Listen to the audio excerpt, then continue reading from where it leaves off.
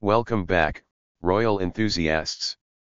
Before we delve into the latest updates, don't forget to subscribe to our channel and hit the bell icon for notifications.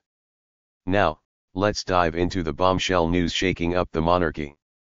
The British government has had it up to here with Meghan and Harry's antics, drawing a clear line in the sand after years of what they view as flagrant exploitation of titles and connections they no longer rightfully possess.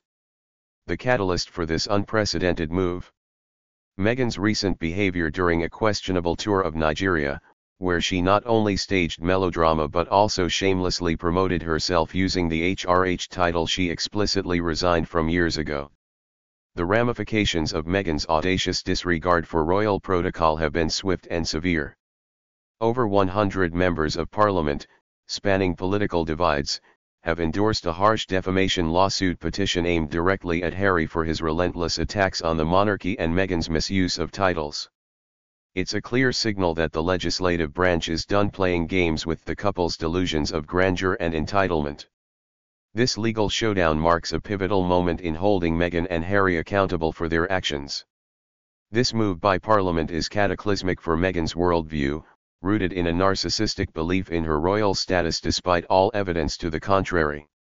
She has clung to this delusion with astonishing audacity, defying legal restrictions and touting fake credentials at events worldwide.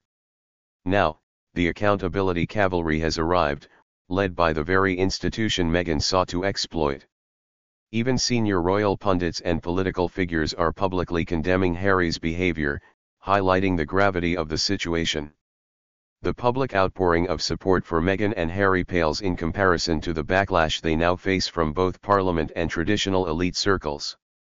No longer can they rely on their internet fan base to sustain their delusions of relevance. The prospect of legal repercussions and permanent damage to their credibility looms large, as they confront the consequences of their actions. In the face of mounting legal challenges and public scrutiny, Meghan and Harry's future hangs in the balance. Their attempts to profit off their former titles and institutional credibility have backfired spectacularly, leaving them vulnerable to the full force of parliamentary accountability. It's a cautionary tale for anyone seeking to exploit their past for personal gain.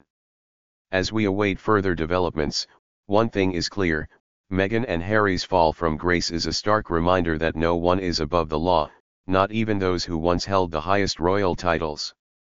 Stay tuned for more updates on this unfolding saga, and let us know your thoughts in the comments.